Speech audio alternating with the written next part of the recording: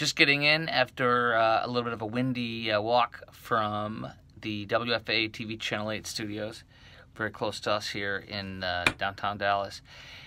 Uh, Trump did an amazing job last night at the rally, which we carried live. He got three to 4,000 more people than Beto did in Beto's hometown, and Beto had 28%. Uh, Trump only got 28% of the vote in El Paso, the city of, and yet he got three to 4,000 more than Beto. Beto has fizzled, his ship has sailed. And um, I tell you, I was listening to the guys on Red Eye Radio on on WBAP. They're based out of Dallas, and they both started here. Gary and Eric, they're great guys. I'm friends with them.